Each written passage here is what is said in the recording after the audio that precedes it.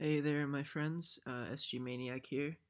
Thought I would go ahead and make another GarageBand video to keep people going. Hopefully, the last one was useful to you. Um, last time we just made a track using all Apple loops, so this time let's go ahead and make a track um, using all MIDI software instruments. So for today, again, you're going to need your Mac with GarageBand. I recommend headphones. Um, again, if you have a MIDI keyboard, today would be a cool time to use that. You don't need a MIDI keyboard, and I'll show you how you can um, make cool stuff without a MIDI keyboard, so don't be worried about it. Well, let's go ahead and open it up, um, make a new, uh, new project, and we're going to choose a software instrument this time. And immediately you'll see that we have this very cool looking, funky um, classic electric piano here. It gives us a nice little picture. Um, so it's going to give us this, and I have my MIDI keyboard plugged in, so I can just go ahead and very, very nicely butcher like a, a little C minor arpeggio. Um, but right ahead, we're going to see that we have these these built-in sounds over here. Um, and if this library popped up for you, um, if it didn't, you can just press Y to open and close this sound library, but it should have popped up for you. Um, we can go ahead and try a different sound. Notice that these are like both variations of a Rhodes. Um, and if you don't know what a Rhodes is, it's really, really dope, and you should look that up. Um, but these are all like emulations of real instruments, right? So we're gonna get some different things. I can take it down an octave or two. Notice that each one of these has kind of its own little flavor, and if we want to get really different, we could go to a different category.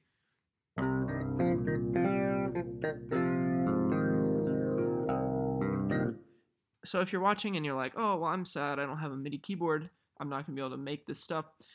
Don't be worried. I've made so much music um, using software instruments without a MIDI keyboard. This is what you do press Command K, and you're going to get this cool little keyboard here. Um, and again, it's not ideal, but what you can do, and I've honestly done this so much that I've picked up kind of how to do this, but you can use this. Right now, I'm playing uh, on my actual laptop keyboard.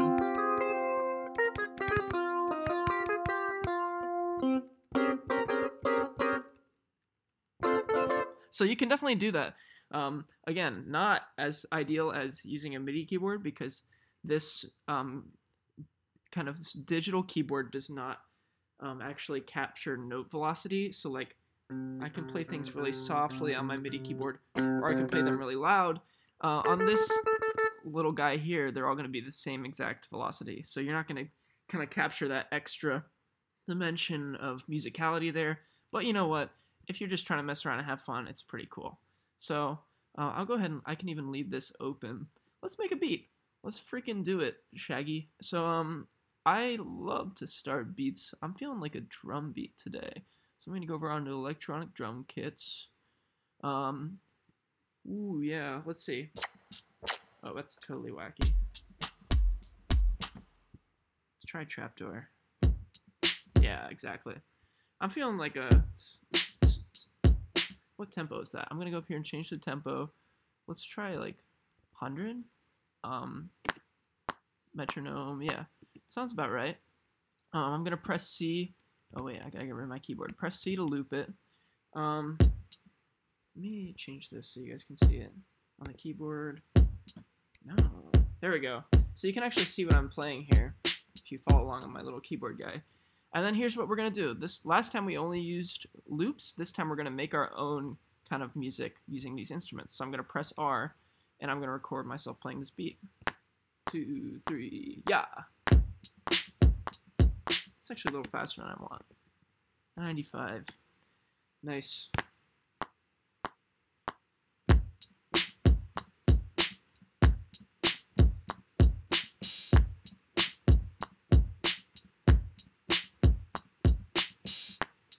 So you heard um, there were definitely some mistakes in there. So what we're going to do is we're going to look at this.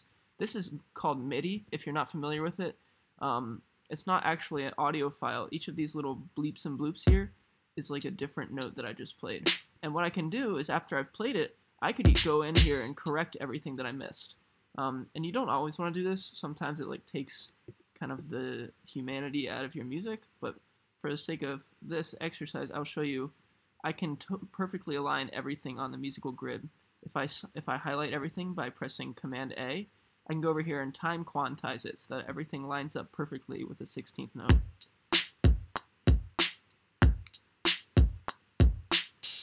And one more thing I just noticed, listen to this part right here. One of these hi-hats right there is a little bit short in length. You can even visually see it right here. So what I'm going to do is I can go in here and correct this, drag it out a little more. And now what I'm seeing is this kind of, there's kind of two bars here. There's this longer green bar, and then there's this internal light green bar. That signifies the velocity. So notice the velocity on this one is really low, which is why we're not really hearing it. So let me crank that up, make it about even with the others.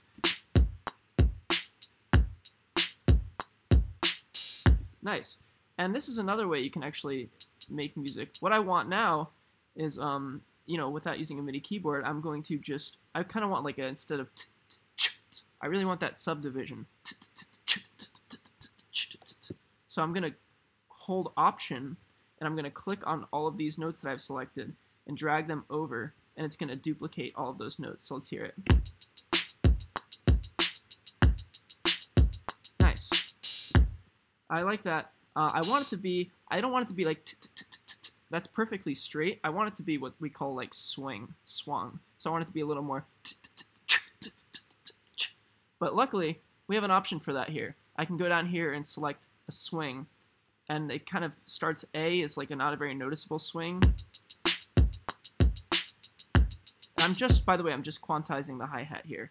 But now notice what happens if I do a swing F. It's going to be very noticeable. That's like a Fresh Prince of Bel-Air. So I want like, maybe, let's try C. Maybe even B, honestly. Yeah, just very slight, not noticeable. That's what I'm looking for. Cool, so I like that. I'm happy with that. Um, now what I'm going to do, just double click below our trapdoor to, to create a new virtual instrument. Let's add some freaking, I don't know, let's try some chords. Very jargon jazzy. Let's go ahead and create like some funky, silky smooth stuff. So again, uh, I'm going to click on this, press L to loop it. I'm going to go back and let's record some organ chords.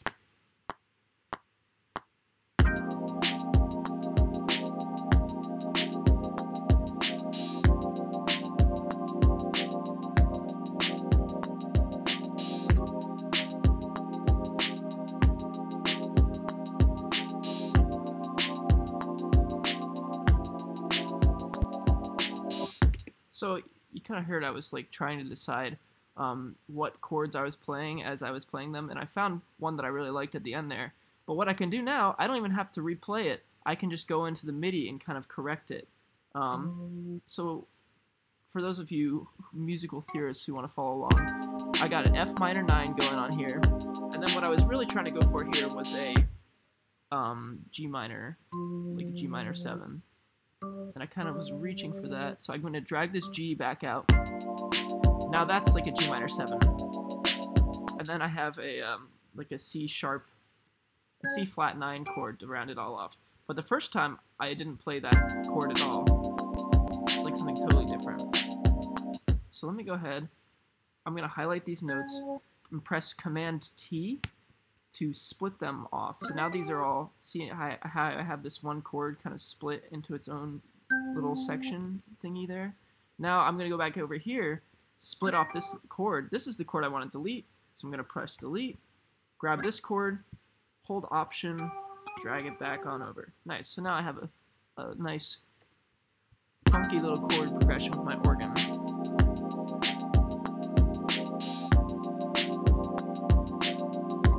I'm going to drag this F. I want that F that's F minor 9, G minor 7, C flat 9, for those of you who want to follow along with that. Loop it. Cool. Let me go ahead and uh, let's try add some bass. I'm going to go over here to my library of sounds. Let's see what we got. Nice, very very beautiful. Might actually try it. I love this kind of like fake upright bass sound. Let's try it.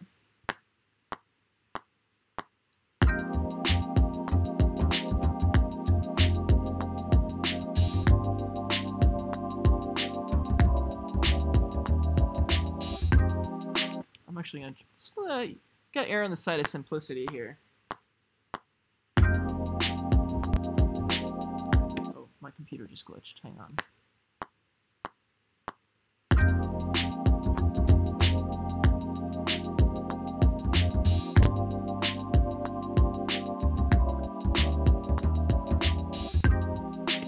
Like that.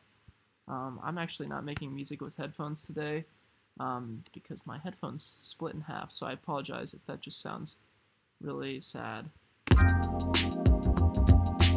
So, so far I'm pretty happy with this, you know.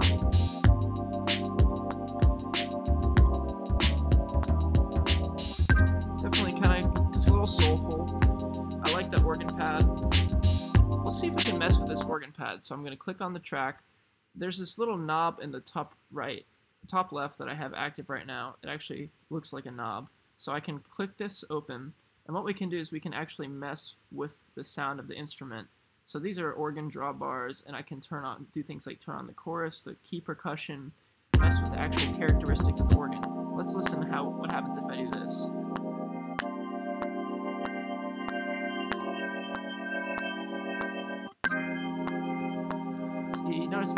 Brings out kind of the upper register of the organ. Stuff like that. So I'm thinking right now, these things would be really cool to automate, right? This is like something that you would want to be happening in the middle of your song. So what I can do um, is come over here. Uh, I don't exactly know. Let's see if we can figure out which one corresponds to which. There's 16, so that's the bottom one. So let's start off by automating um, 6UM2. And what I'm going to do is I'm just going to drag this all the way down. So now watch, we're automatically automating this little drawbar right here. And to make it a little more pronounced, I'm going to automate another one too. So let's do uh, one and one third. Don't ask me how an organ works, guys. I really don't know. But all I know is that automation is cool. Um, and in fact, I'm gonna I'm gonna kind of offset this so that it happens at a little bit of a later time. Um, yeah, I'm liking this. That's already adding like another really cool element to our track, right? Um, and one other thing that I can check out there is, if I go back to that screen, organ verb is something that I'm kind of interested in having. For those of you that don't know, reverb is kind of like that. If you're, imagine you're in a big room and you clap and you still have that like, that like follows the clap. That's basically what reverb is. We can throw that on any instrument to really change how it sounds. Notice how it, it sounds like the organ's in like a big room right now. There's always a compromise to how much reverb you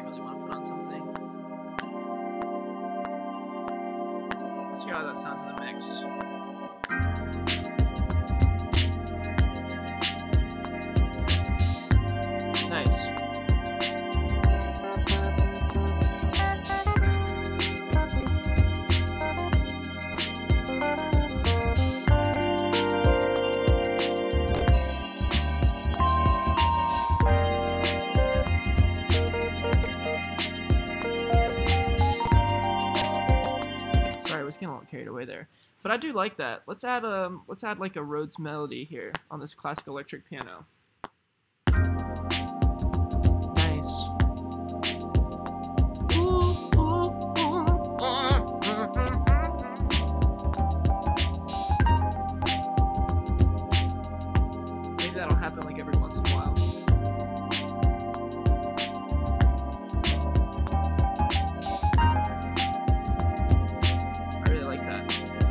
Let's find a way to loop that. But this one's kind of weird, right? Um, because we want to make sure, I don't really know how long I recorded it, and I want to make sure that it, it lines up and plays at the proper time. Me bring it down in the mix a little.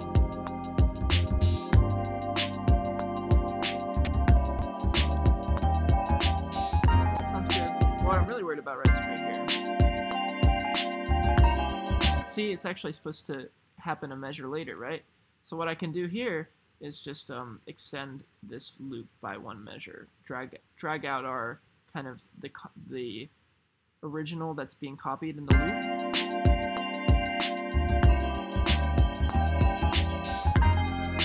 Yeah, whenever you have a loop where there's MIDI but there's space, blank space on either the front or the back, you have to be careful because sometimes it's just not going to loop up in the right place. It looks like we're good.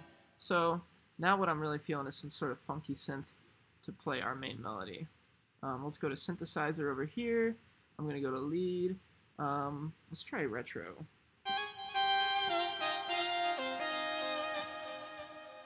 That's very interesting. Um, so synthesizers um, actually have some really cool kind of controls here. You'll notice I still have this keyboard, this um, kind of instrument control panel open, which is this knob button up here. And I can really, I can go around and try out all these different presets. Each synthesizer has like a bunch of different built-in presets that the developers gave us. You notice all these sound really different. And this is all the same synthesizer. But the really cool thing is that maybe like two of them, you can kind of just put it in between two, give you a little best of both worlds, or even between four sounds if you really wanted to. Let's say I don't want any delay or reverb, I just want my synthesizer to be totally dry. Which sounds kind of cool. Maybe a little more what I'm going for. Um, very interesting. But I'm actually going to try another synth. Let's go over here. I know, I know. Do not show this message again.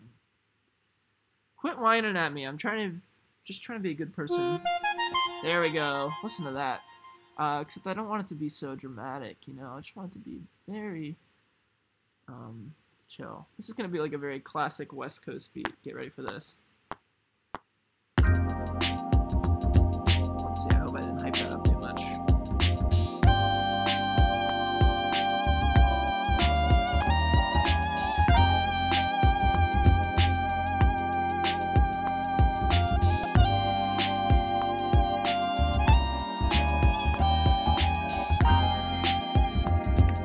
Cool. I mean, that's that is very like West Coast. But what I'm gonna do is I'm gonna try to make it a little more melodic so that it's not just like playing the whole time. Put a little bit of space in the melody. That actually helps it stand out. Um, makes it a much more like memorable part of the song. We want people to be able to sing our melodies. Um, you know, especially if you're trying to make anything that's remotely pop music at all.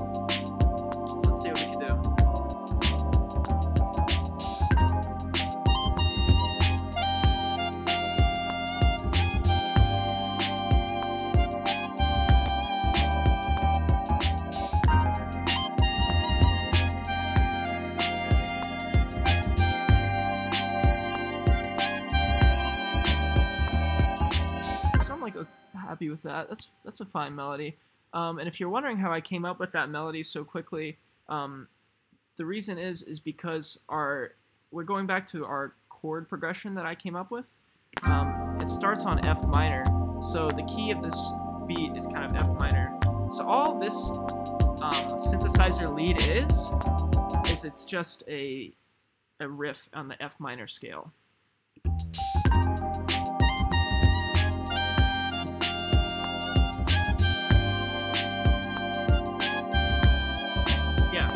Starting on C,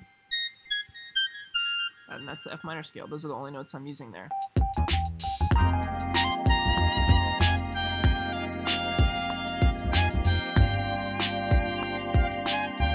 Hear that organ kind of coming up there, being a little brighter. And the last thing I'm going to do is I'm just going to go back to our loop section. Oh, clicked on the run button. Go back to our loop section, and uh, I'm going to throw in a little bit of percussion. Make this a little more, uh, make this a little more grooving. Let's hear that from the beginning. I'm also going to put in some, um, some shaker right here. Uh, not that one. I don't like that little flare at the end. Man, my computer is really working hard. It's almost time for a new computer. You catch my drift. You know what I mean? Santa, if you're watching this, I know it's July, but got your work cut out for you. Maybe some maracas right there after we hear the melody two times. Um. Oh yeah. And the cool thing, I forgot to, I neglected to mention one of the coolest things about MIDI. Let's say I'm like, okay, we're going full 70s soul mode. This kind of trapdoor drum thing isn't really cutting it anymore. Let's go, I'm going to press Y. I'm like, okay, I'm going to try out some new sounds. I can just go over here and totally change the sound of this MIDI. Um, let's just try a regular drum set.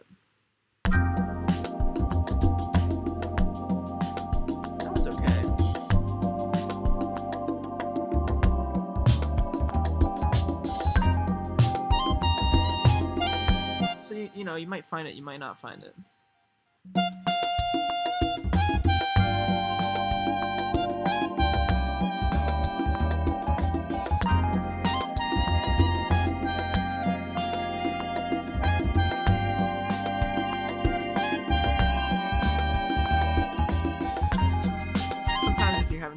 Something, the best thing to do is just bring everything else down. It kind of hurts. I know it hurts to turn things down because you're like, this is jamming. But you can always bring them back up at the end. You can always increase the whole volume of the piece up here, or better yet, in mixing and mastering. So bringing things down is never a bad idea. See now, my drum set is kind of like the proper volume. We want those drums to be banging. Maybe pan the congos.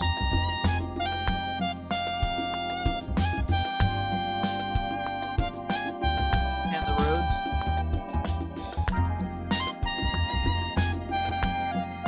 And I realized on my last video that you guys can't actually hear when I pan things, but trust me that it sounded good. Anyways, I'm feeling really good about this track. Um, I hope you learned something about making beats here. I'm probably going to keep up these videos a little bit because they're really fun. Um, stay tuned for the next one. And uh, yeah, peace. I hope you make some cool beats with your MIDI stuff. See you later.